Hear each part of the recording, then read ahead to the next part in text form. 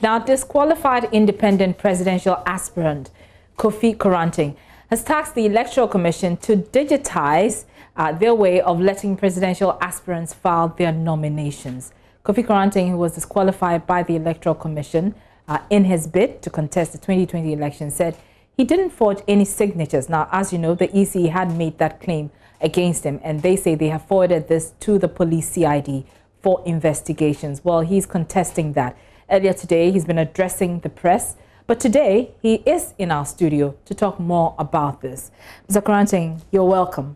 Hello, how are you doing? I'm doing very well. I imagine well. you must be so disappointed because you were so um, eager, eager uh, mm. to contest the December 7 um, elections, you know, when the first time we spoke. That's correct, but we not we disappointed in the system. Mm-hmm. We're not disappointed in our bid because it's not over yet. We're still fighting to get us on the ballot. So we are hopeful that we're going. Did you say you're still fighting to get on the ballot? That's correct. Because what we hear from the EC is that you allegedly forged your signatures. That has been forwarded to the police CID for investigation. First of all, how do you react to that? Did you forge well, those sig signatures? I mean, of course, uh, it's it's as ridiculous as that sounds. I mean, who goes out, who travels 3,000 miles, right? Comes to Ghana and forges uh, signatures on their nomination forms. That's ridiculous. I mean, uh, nobody did that. Uh, what what happened is, as we were told by the EC, was there were duplications in entries on our forms uh, same entries on our forms showed up on the CPP side. Mm-hmm.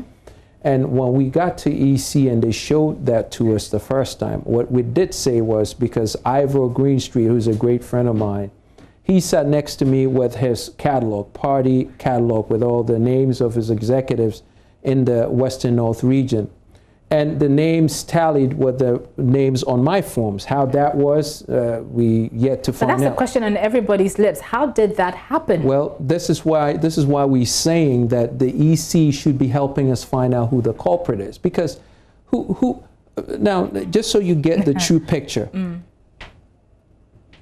19 entries. Mm.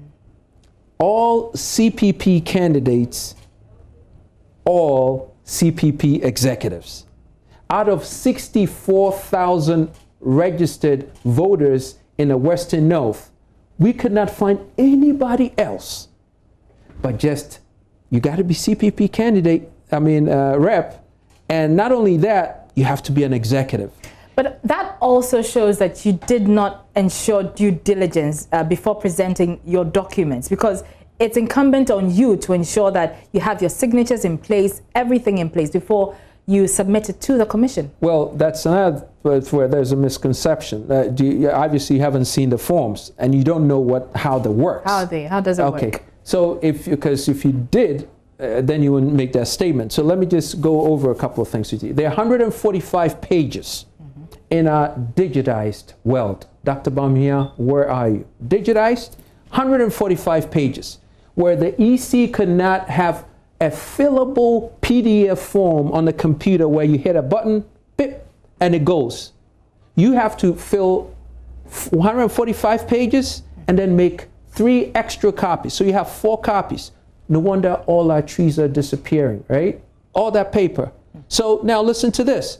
And they almost follow you with a scalpel to make sure that you don't cross a T, you don't dot an I. Hey, you're disqualified. What kind of process is that? In an electoral commissioner where you should be helping people, prepping people, developing people, leading people to get into the arena of democracy. I understand you. So mistakes are expected. You're expected to be diligent, but mistakes are expected. Did the EC give you an opportunity to correct your mistakes? They gave us an opportunity Saturday afternoon to go and correct and be back as Sunday morning, which we did. We came and they said, yeah, we're not going to accept your forms. So you've been disqualified and your matter has been taken up by the police CID. Have you been invited to the police CID for interrogation? Not yet. I'm waiting for it.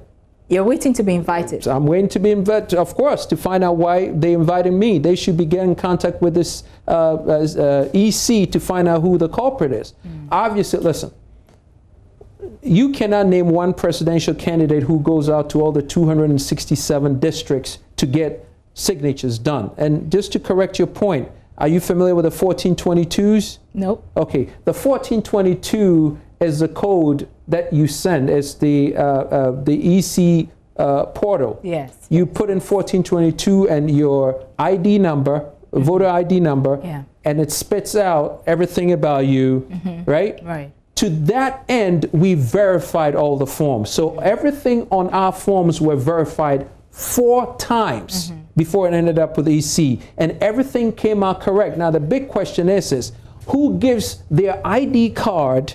Not one person, not two, maybe two, maybe three, but 19 entries, all CPP and CPP executives on our forms. So what's your suspicion, Mr. Koranteng? Well, obviously, listen, your guess is as good as mine, but I could tell you this for a, sh- for a fact, guaranteed.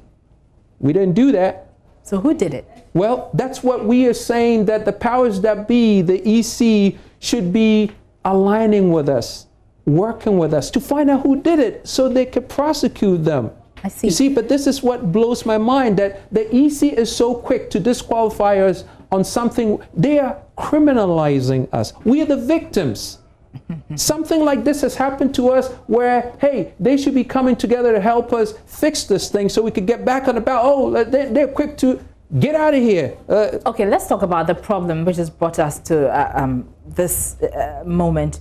The fact that the EC is accusing you or your party or whoever is following you of manipulating the process by forging signatures. And as it is, what we are told is that you forged CP, signatures of CPP members. Isn't that the case? well, they say that the form, well, yeah, Allegedly. go ahead, allegedly. Allegedly. Okay, so you said the EC gave you the opportunity to correct the mistakes Correct. on Saturday Correct. and submit the forms on Sunday. Correct. Did you do that? Absolutely. And so how come you were disqualified again? That would be a question you need to ask Ms. Mensa and her commissioners. so are you telling me that you corrected the anomalies by removing the CPP names and putting names of we people got with our you? we got with our reps and that very night we got a car to come around uh, to uh, the city with uh, new entries Hmm. and we got the signatures and we submitted it uh, the next morning at ec but dr Serebour says no incidentally should you know this is the same dr Serebour who made an excuse after ec made 84000 duplicated entries on the EC registration forms. They came and spoke to the Ghanaian people and asked for forgiveness. We were going to fix this. September 23rd, you remember? Uh huh. You remember. So what happens? What is good for the what is good, good for the goose, is good for the gander. Suddenly, it's not good for Kofi Koranteng. Oh my gosh, ain't that So let's something? talk about what you're doing right now. You said you're still contesting the EC on this particular matter. what are we, you doing? We are hoping that the EC will come to the realization that this has been a true, perfect scenario of foul play. so you're not uh, engaging this EC. You're just sitting down hoping that we engage in them. We mind. sent, we send them a letter, which incidentally ended up on the media. They didn't even respond to us. They just felt the need to, hey, uh, forget Kofi Koranteng. Let's just talk to the media. Hey, listen, this has been an unfair treatment of us on the ballot. Mm-hmm. And I get a feeling they just don't want me on the ballot. Okay. So you feel like you're being unfairly treated by Absolutely. the EC. So you've written officially to them asking them what exactly? To put me on the ballot and stop this. Based on what? based on the fact that we didn't commit any fraud.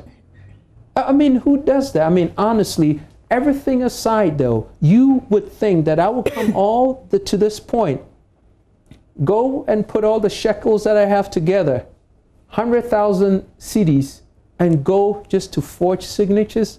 Who believes that? Okay. Maybe it was a mistake, uh, as some would say or argue. Uh, you weren't diligent enough. Perhaps, perhaps not. But um, I'm still curious to understand what you're seeking the EC to do to overturn its decision because we've been told by the Commission that they are preparing the ballots. And as far as they're concerned, they have 12 candidates on the ballot.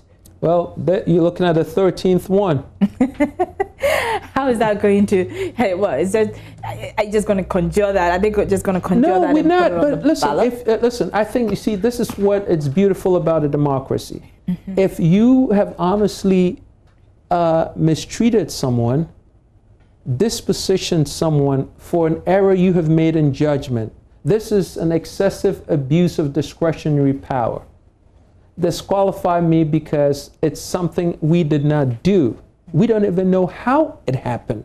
That 19 entries on our forms would be the same exact entries on the CPP forms. Doesn't that blow your mind? Who does that? If I were dumb enough to make a mistake like that, will I pick the same people on the CPP forms on my form? Mm. You know you have to investigate this. And for a electoral commission that talks about democracy and talks about how things ought to be done right, what we are saying is, says they, they need to go further. They should not just say, oh, we're going to get Kofi Koranteng to speak with CID. No, this is something they need to correct mm. because there is a possibility it could happen again. All right. Now, be that as it may, we're somewhat 39 days away from the elections. That's correct. Are you very, very, very convinced that your name will be on the ballot? I am, and it should be. Why are you so convinced? I mean, what's the because we've done nothing wrong. Don't you understand? But the EC has not responded if, to your. So is it okay? So first of all, I think the doubt is in your mind. Mm. Oh yeah, yeah. The no, doubt no, is but you say you have officially written to the EC on this matter. Th You're not correct. contesting them in court. You're not taking them up well, anywhere we're else. We're giving them a chance to correct, and if that doesn't happen, then of course counsel will step in. But I think this so you're is considering so legal action if the EC does not. Well, at some know, point, obviously, because consent. of the fact that this is so blatantly wrong on their side to disqualify us, that it's just so obvious we wouldn't even think the EC would even think twice about putting us on a ballot. You know, you, you, is, there's, there's, this is not one person made an error and four. This is 19 entries, all of the same party and all executive members who happen to be on their sheets on our entries. There is something is up. Okay, all right. So you're waiting to hear from the EC Absolutely. on your particular consent. I okay, so as I said, 39 days to the election, we're not seeing you on the ground. I mean, your colleagues are crisscrossing the country trying to win the hearts and minds of Ghanaians. We don't see anything. Do you you running out of time? Aren't you concerned when, when at all? When you say we're not seeing anything, it's it's almost in terms of campaigning, in terms of selling your message. What is your message to the people? I can't even tell if you ask me today. Okay, so maybe uh, we're not your favorite candidate, but if everybody who is following us knows uh, that, listen, we talk about the new vision for Ghana. We want to change Ghana. We want Ghana to work again. We want our unemployed youth to get jobs from manufacturing, from factories. We want law and order to work. We don't want um, uh, uh, uh, foreigners just coming into our country in droves and disrespecting our people, our land, and everything we stand for. They've taken over this land. And what, one of the big things I stand for is for us to be able to seize back this country and put it in order. They're selling this country away, and you know that. We don't have a national development plan. Until we have that, this uh, jokers of uh, uh, uh, manifesto, you know, the paper they call manifesto, it's not going to work. Okay? Mm-hmm. Manifestos is not what we build for. We build for a national development plan. We need a long term vision, 20, 30, 50 year plan for Ghana. And we need people who have a science based, data driven human-centered consciousness to leadership. Till we get that done, Ghana is not going to go anywhere, and you know that. That's why we still have the filth that we have around the country. All right. Okay. We'll have to wrap it up here. Thank you so much, uh, independent uh, presidential aspirant uh, who was disqualified by the EC. He says he's not giving up. Kofi Koranteng there. Thank you so much again. Thanks. Uh, Thanks Mr. for Koranteng. having us.